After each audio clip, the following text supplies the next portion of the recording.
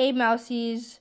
Yesterday I went to the store and I found these gummy uh food and also I found this at Target. Funko Pop Sylveon. It's very beautiful. And she's adorable. So she'll be sitting right here. Okay. So today we are going to start with this one and this will be for the next video. We have uh this one. Okay, there are two uh, gummy burgers, hot dog, pizza, and fries, and also whatever is over there. Okay, I'm gonna open this, and uh, I'm gonna try this. And if you're wondering where I got these two, I both got them at Big Lots. So if you want these, you can go to the store, and they're not that expensive. So, and there's also no corn syrup, so these are good. Okay, here it is.